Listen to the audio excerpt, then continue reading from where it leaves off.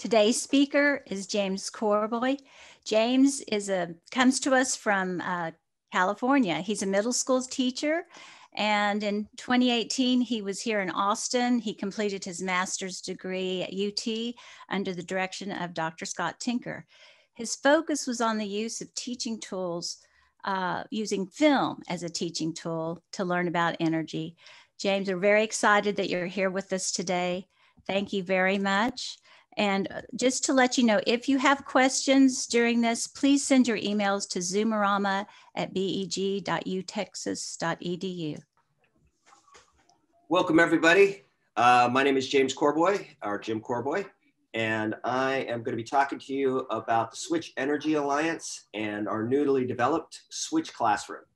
If you give me just a second, you should be seeing my screen. This is my PowerPoint that I'll be working off of. And uh, Switch Energy Alliance is a nonprofit organization dedicated to inspiring um, students to study and learn about energy education. And we do it in a nonpartisan and sensible and objective way. All right, we started out uh, putting together the passions of two individuals that live in Austin, Dr. Tinker and his friend, film extraordinaire, Harry Lynch. Um, and they made a film called Switch. It received a lot of accolades both in the ind industry and also with environmental groups. And so from that, we've built, um, we're now doing a museum, an IMAX film. It's called Energy in Our Lives. We have over 300 videos in our uh, switchon.org website. Um, and we've just created over the last two years um, a Switch Classroom, which is an online energy education platform. And I'm going to introduce you to, to our platform. Switch. All right. First off, switch film. The switch film was the first, and that's what I did my research on. I used it at the University of Texas at Austin and a bunch of schools around the country. And what I did is I had a survey go in and a survey uh, out after watching the film and to see if students will learn from film. And we had a lot of great success with that. Uh, but the film is a basically straightforward look at all the different ways we provide energy. And from that film, Dr. Tinker and Harry Lynch learned one thing that they didn't cover in this, and that is there is about 2 billion people um, that do not have energy. Or if they do have energy, it's not clean. Um, it causes damage to their children, causes damage to the eyes. And so they created this film called Switch On. It's just recently been released. Um, it's a fabulous film. And we're just going to watch one short little trailer um, to inspire you to go watch it. I would inspire you to watch both these films. The feature film Switch is available online, uh, but we're going to look at the trailer and I hope you enjoy. Without electricity, transformation of economy and the coming out of poverty is impossible. Energy is everything.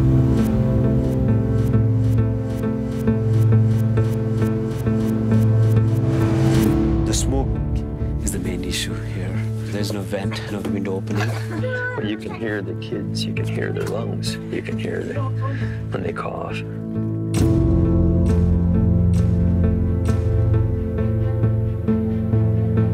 I mean, that, that's got to have killed people. So many people are dying because of that. If you touch this house, Yeah.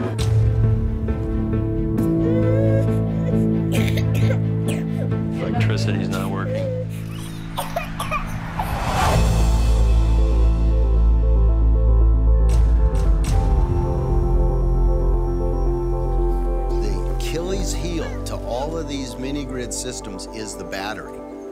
The more time the ceiling fans are running, the bigger the battery has to be. capacity is around 6.3 gigawatts. So that's six or seven nuclear reactors. Vâng, chính xác. Bởi vì than là cuộc sống của rất nhiều người ở đây. Nên chưa từ bỏ được ngay ạ. Black gold. There's mobile technology that's allowing all of this Absolutely. to yes. happen. Yes. Got it. Once they saw this gas coming in, people decided to switch.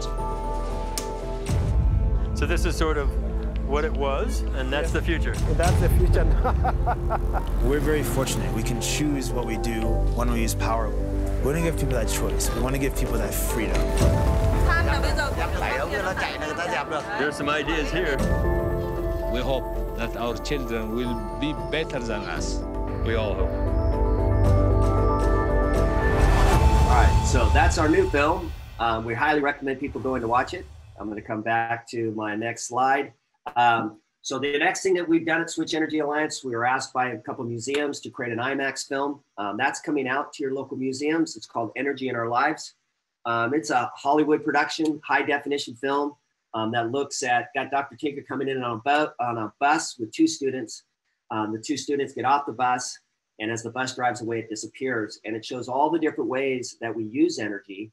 Um, and at one point, it leaves the kids sitting out in the field without their house, without their refrigerator, and then slowly shows them all the different ways energy goes into making all these different products that we get to use. Um, and that should be out shortly. But our big focus is the Switch Energy Library. And we have a video library. You can go in here and become an energy expert on your own. Uh, there are 300 videos for you to watch. There's interviews with experts. We have it broken down into types, so you can just pick what kind of type of energy you want to look at. We have topics. Um, and when I came along, one of the things we found out was there's a class, an advanced placement environmental science class.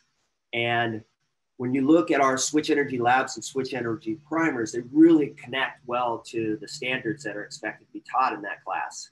And so we took these two sections, the energy labs, which is under the topics, and the primers. They're 42 films, and we put them together. We brought questions to them. We brought uh, summative questions, um, and, and then we combined different videos. And that's how we came up with our Switch Classroom. There also is a whole bunch of energy experts, and I'm going to leave you with one that I really like. Uh, it's a guy out in West Texas that start, started the Roscoe Wind Farm, Cliff Etheredge and I will come back to him in just a second.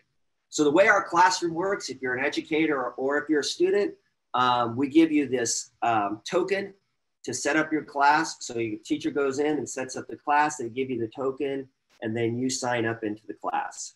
So the switch classroom, so we're gonna get you, we're not gonna get you to sign up, it's just too much work um, to sign up into the classroom. But once you sign up in the classroom, you can see I've set up a class right here. It's called Austin Earth Science Zoomerama.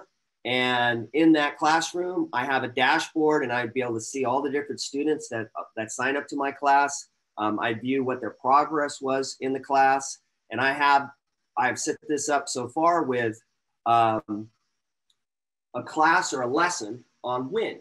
And the reason why I did wind is because it really connects to um, students in Austin and the students in the state of Texas. So I'm going to start out before I go on to this. And if there's any students out there or teachers or anybody out there, we're going to put our poll up. SJ, uh, my co co-host in this from Switch Energy Alliance, she is going to put the poll up and we're going to ask you a question. Which state produces the most electricity from wind? And that poll is up and we're going to give you a little bit of time. It looks like I've got five participants and if they can uh, vote on that. So which state produces the most electricity from wind? Is it Florida? Is it the state of California? The state of Texas or the state of Montana. I'm encouraging everybody that's in this poll to vote. It might be a little difficult for you, so I'm going to stop it right now. And if we can end that poll, that is correct. Uh, the two people that did vote, um, state of Texas generates more wind, uh, more electricity from wind energy than any other state in the union. And we're going to look at why that is the case. All right. So we have three different parts to this class that we're teaching from Switch Classroom. We have a video. We always start all of our um, instruction and lessons and units um, with a video. That's what our specialty is, is film with, Doc, uh, with Harry Lynch. Um, and then we have some questions and answers, most usually multiple choice, and then something that makes you have to write a write written response or create something. Okay, so we're going to start out with the science of wind to try to better understand why Texas was able to take advantage of all their wind and what other states might and what do they need to take advantage of the wind. All right, we're going to watch this film. It's called Making Wind Work.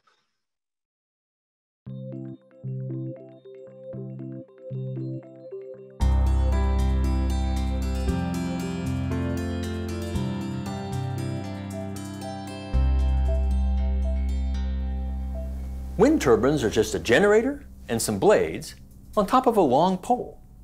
When the wind blows, it turns the generator and makes electricity. It's simple and fast to build. There's no fuel to burn, so there are no emissions. It's one of the most affordable renewables. In the US, we have perhaps the greatest onshore wind resource in the world. But there are very few wind farms in just a fraction of this area. Why is that? Let's take a look at a state that has developed its wind resource. Texas sits at the base of the wind corridor, so it has good wind. But it took more than that. Wind turbines are enormous industrial machines, so it takes neighbors willing to live near them. Farmers in West Texas were happy to have a new source of income, especially since the farmland beneath the turbines is still usable. There are minor issues related to light and noise, but the primary environmental concern is bird kill. These windy areas are not near major cities, but Sweetwater is a lot closer to Houston than North Dakota is to San Francisco. To move the power to users requires long distance transmission lines. There aren't a lot in the wind corridor, but Texas already had some related to oil and gas fields. That allowed the wind industry to get started. But the wind farms soon overloaded the existing lines, so we needed new ones. Unlike in most states, power lines in Texas are paid for by the consumer on their electric bill. This allowed new lines to be built.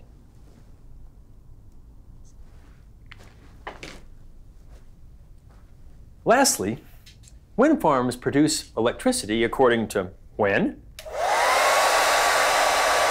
and how the wind's blowing. Unfortunately, that doesn't usually match the way we use electricity. So we need something to power this when this isn't turning.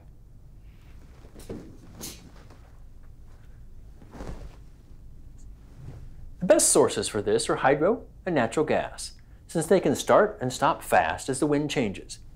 Texas doesn't have a lot of water, but it has a lot of natural gas power plants to balance the wind. Because Texas has all the items on this list, it's become the U.S. leader in wind. The same is true elsewhere. Those who have succeeded have some combination of these. If we could get more of these advantages into the U.S. wind corridor, we'd see more wind power generated there. So each one of these films, the 42 that we've used for create the Switch Classroom, each one of them you can see at the end of it has a summary of the film itself. Um, so as a student, um, you're going to go, we're going to go next directly to the multiple choice question that's connected to this. And this would be the first place you would go back to. Maybe, oh, I don't know the answer to that. You might want to look here first before you actually go back and watch the film. Um, we've set up the Switch Classroom so that you have to get these multiple choice questions right. All right. So you're going to have to go back to the film sometimes if you get something wrong. We're going to do a poll rather than you going to the classroom. Um, we thought that would be a little too difficult the way this is set up. So we're going to start doing a poll of each one of these four questions that are connected to the video we just watched. So question number one, and if we can put the poll up, what are two advantages? What are two advantages of using wind turbines to generate electricity? So read the answers quest on the answers carefully. Turbines are quick to build and produce no CO2 emissions when generating. Turbines can be located anywhere and produce no CO2 emissions when generating. Turbines produce no CO2 emissions when generating and produce a constant supply of electricity. Or, or turbines can be located anywhere and produce a constant supply of electricity. So we've got one person to vote. Remember, it's always the best answer because um, these are very close. They're very similar. Um, so find the best answer. All right. So the correct answer is turbines are quick to build. Thank you. Good. Then we got three of you voting. Yay. I was cheering that with my students. If I get all my students to vote on my poll, I'm super excited. All right. So turbines are quick to build and produce no CO2 emissions when generating. They have to be placed, though, in a very specific place where there's lots of wind. All right. Question number two What area of the continental, continental United States that's on the land has the greatest potential for wind power? Is it the South, the North, the Midwest, or the West? And close the poll, and the correct answer is the Midwest.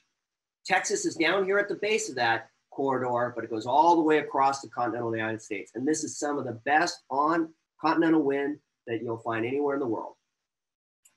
Question number three. What it, primary environmental concern of wind farms is highlighted in the video? Wow, someone jumped on that really fast. Like, I know that one. All right, let's get it. See if we can get all three of our voters. We got four, but let's we seem to be able to get three voters. What is the primary environmental concern of these wind farms? Two votes.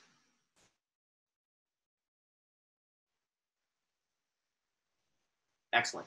We're going to stop there because it's three for three. And bird kill. Um, birds are just flying along and they don't see those big wings, uh, the big turbines, the blades. Um, and we do have a lot of bird kill around these wind turbines. Okay, the last question that goes with this video is question number four. It's poll number five. And the question is, according to the video, why was it easier for the wind industry to start in Texas?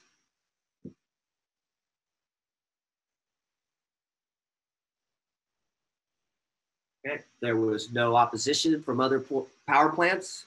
There were existing transmission lines. Uh, there were state subsidies for the power industry that benefited the wind industry, or there were no opportunity who protested the wind industry starting in Texas. Got two answers. Let's see if we can get one more.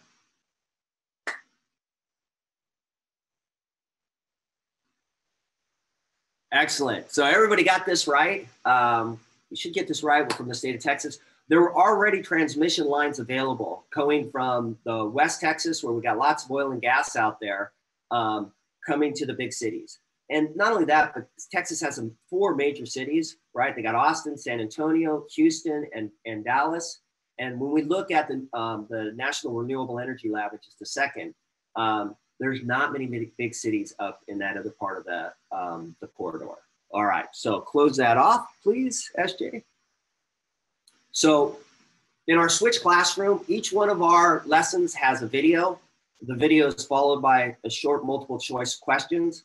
Um, and then we have some uh, kind of summative activities, a little more cognitive experience and a little more, um, and I do want to show this once this is gone. There we go. Okay. When you work through the site, so for example, we just answered that, you're going to click the next button. In order to get it registered, teachers, they're going to have to click this next, next button. And then we come into our short answer questions. And in this one, we, ask, we ask questions like, what are the six criteria that Dr. Tinker used in here? Pick three of those criteria and have your student, you know, elaborate on that. And then do you think when we look at other other states that are in this corridor, um, do you think um, your state could take advantage of wind power? Is it in the corridor? Is it along the coast where we got some pretty good wind on the coast? Um, and so we have video, multiple choice questions, and then short answer questions. I'm back to my PowerPoint here. I hope I'm doing great on time, which I am. Um, the next thing I'm going to do is I'm going to go to this NRA video. Uh, no, that's right. I'm going to do a poll. So the next thing I want to do is uh, based on our short answer questions that we have, uh, we've got a poll. This is not a right answer or wrong answer, but it looks at the, we want you to look at these six criteria. And what is your opinion of what's the most important one? So the question asks, which of the six criteria for making wind work as an energy source is the most important? Is it that you have to have good wind? Is it that you have to have willing neighbors? Close to users? Wind has to be close to the user. Uh, existing transmission lines? Ability to build new lines? Or is it backup generation? What is the what do you think is the most important of these six criteria? And again, there is no right answer. So what is your opinion? Okay, so one one picker, one person has picked backup generation. Okay, wind is intermittent. Dr. Tinker shows that with his little um, hair dryer. Um, sometimes it's not blowing at all. Um, sometimes it's blowing really hard. Um, you're generating lots of electricity that way, um, and sometimes it's not blowing too hard. Um, so you're not generating, as much electricity. But we need electricity 24 7. And so we have to have some sort of backup. Uh, let's see, I got another vote, another vote for backup generation. Um, so I'm going to stop the poll. Okay. Uh, my personal opinion is the first thing you got to have is wind. Uh, you don't have wind, you, you, you, really can't generate a lot of electricity from the wind. Uh, but backup generation is a critical part to it. So is having willing neighbors. Um, you are never going to get wind farms off the coast of Southern California where I live. Um, maybe outside of Catalina, so you can't see them, they're over the horizon. Uh, there's only one on the east side, it's uh, in Rhode Island, um, and they're just three windmills. Um, so it's very, very difficult to build these things off of people's coast. Uh, so we're going to go to our next question. And then we're going to end this with the Cliff Etheredge. I just want you to walk out of here. I want you to go back to this video about Cliff Etheredge. Um, but right now, I want to have one more poll. This is the National Renewable Energy Labs poll, I mean, um, map of wind at 100 meters high, which is roughly the height of some of these wind, uh, wind turbines. And you can see that corridor rides right up, right up through from Texas at the base all the way up into Canada. And I want to check your geography right now. So we're going to put up our next poll because all these states up above Texas have really not taken advantage of wind. Um, they have some beautiful wind in there, but they haven't taken advantage of it. There's a number of reasons why. Uh, but what is one of the states? Okay, so poll is up. Using that map right there, um, identify, I'm going to put it over here, identify a state that should be taking advantage of its onshore wind. Okay, is it Utah? Is Utah in the corridor? I don't know. Got to be able to read a map.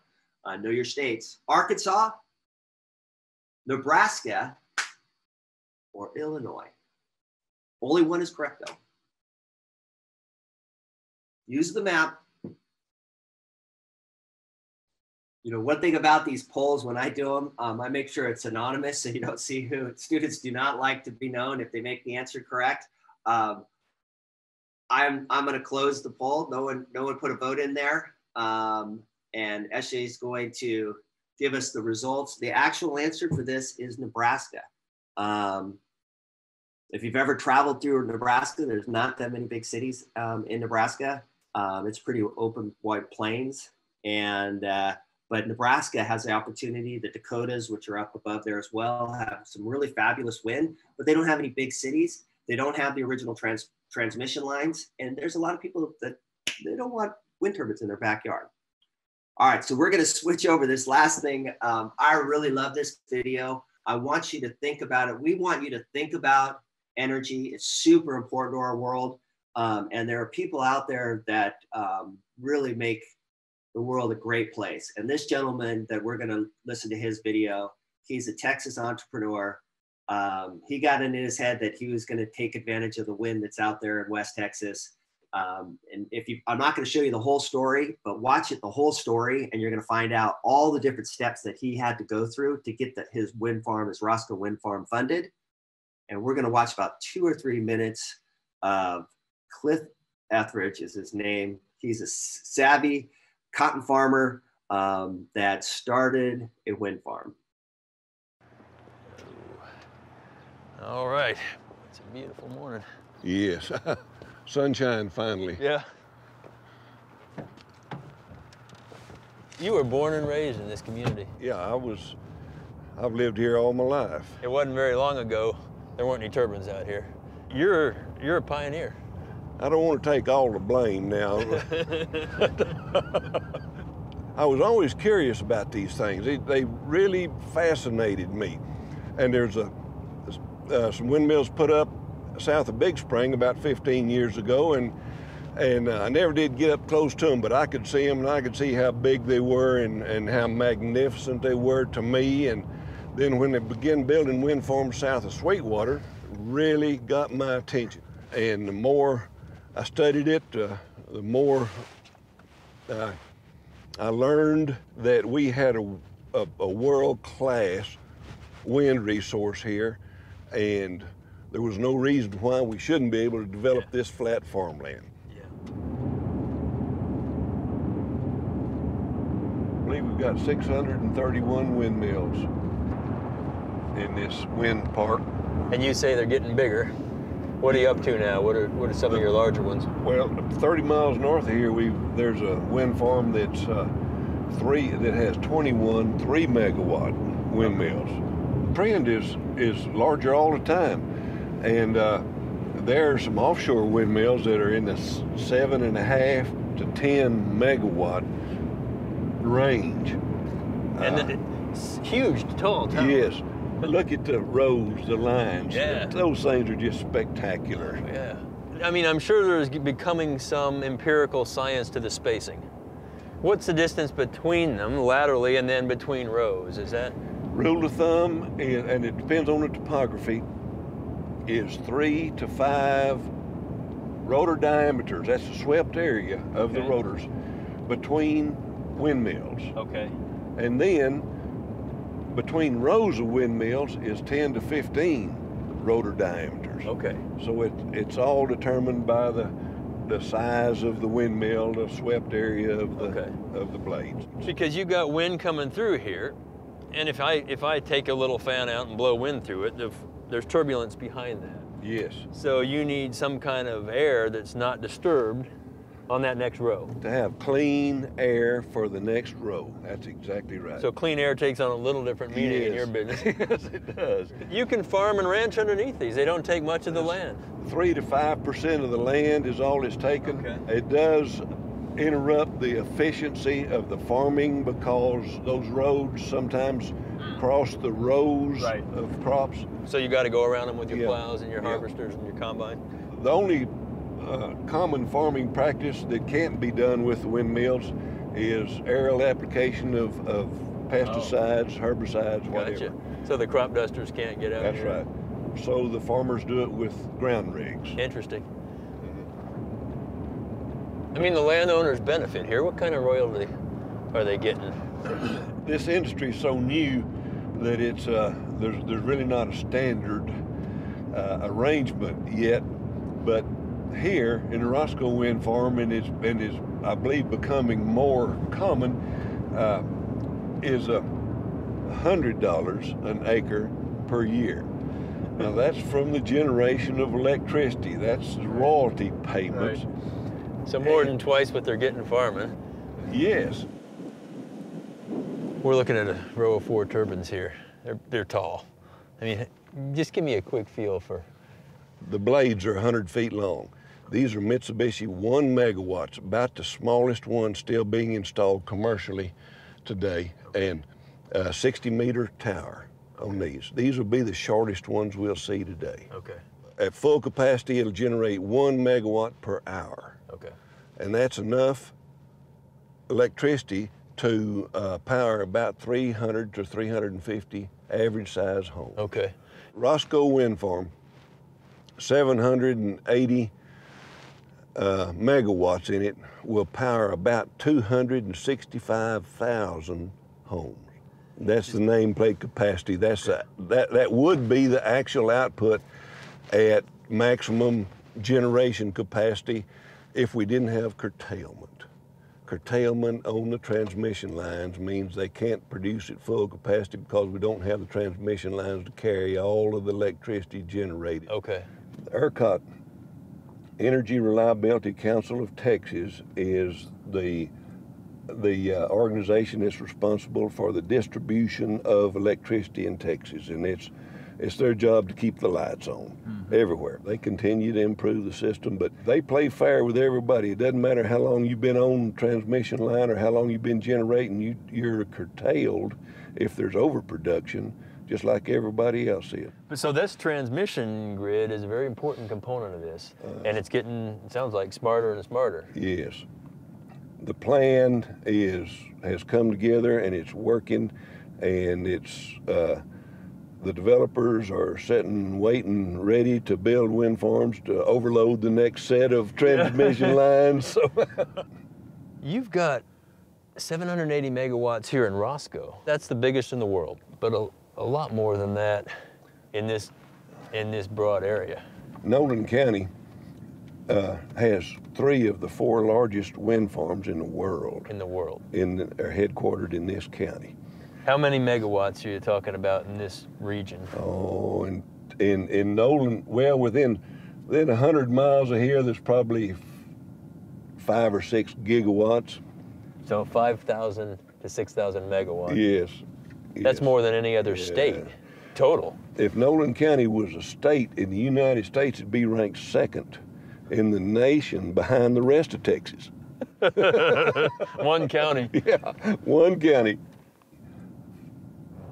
We are surrounded by wind turbines. I cannot look in any direction and not see them. You really led this thing in many ways, and I know you're a modest person, but four or five years ago, if I was standing right here with you, we'd be looking at farmland and That's right. That's right. That's right. What did it take to put that together, really? I had no concept of how it'd be done, if one company could do it, if it'd take a bunch of them. Yeah. Uh, but organizing the landowners and then getting a project put together that might be acceptable to a developer was the easy part. Yeah. the hard part was finding a developer. Okay. In October, I went to a of 04 of 04. Okay. I went to a, a finance and investment workshop in New York City. Took these presentations and passed them out and tried to meet people and talk to them. And sure enough, I found a banker in Philadelphia that referred me to a new company in Chicago from Dublin. Okay. and I called them. Airtricity uh-huh. was their name. Sure enough, they were interested. After sending them all the information I could gather up about this thing, they came down and looked, and the whole system came together. The whole plan came together. They they recognized the potential here, and this first 7,000 acres they wanted to expand to the 32,000 acres, which we did for them. And this is a community that's welcoming this with open arms. Yes. up- It's turned our communities around. We've got, for the first time ever, these these landlords have an opportunity to receive a regular paycheck. Our school has sat there with about 300, 310 enrollment for 50 years. Okay. Since the wind farm is built, the last two years, the enrollment at Roscoe has increased 40 students. The first increase ever Yeah. in our enrollment in school. To me, that's the best indicator Yeah. of the benefits of the wind farm, other than the actual dollars that's being pumped into our community. But uh, the that's that's, the first and the greatest benefit. I highly recommend you go out to this uh, to our site. There's lots of educational material here. The, the questions are, are multiple choice questions are great for each video. Um, this one is one of the energy experts, Cliff Etheredge. Um, so I'm going to leave you with our website information. We're Switch Energy Alliance. Uh, we just created Switch Classroom, which is an education energy platform uh, for you to engage your students in all sorts of uh, topics around the subject of energy. Uh, you can go to the switchon.org website. Our feature film is, is available right there. Uh, the trailer is available. And then if you want to sign up your students, you want to go to classroom.switchon.org. Um, sign up your students, give them a class token. They can sign up. You can watch them progress. Uh, my eighth grade students have done two different units. We're doing harnessing human energy for eighth grade NGSS in California. And they're going to go back to about four or five, but I can see all my students. I can go, hey, you're not watching the video. You need to get on the video. At this point, you should be at the multiple choice question. And I can see exactly all the way down the line, all of my students and whether they are progressing through the, uh, through the unit. Um, thank you very much for the Bureau of Economic Geology for having Switch Energy Alliance on. Um, thank you for all the students that are watching this and uh, have a great, have a great day. Jim, thank you. Thank you very much. And SJ, I appreciate it that you joined our efforts. This is the inaugural session for our Austin Earth Science Zoomerama. Thank you very much. And to our audience, I, I want you to know that we will be posting this video uh, onto our website. It's, so if you go to the Zoomerama page, uh, you can see all of the all of the different uh, presentations we have coming up every Tuesday and Thursday in October. We'll have one for the one that you just saw. You can go to the Switch Classroom. You'll see all of the resources, the quizzes, the PDF of the presentation, as well as the video. So please share this information with your friends. Thank you for joining us, and I hope we see you again in some of our other sessions. Thank you very much.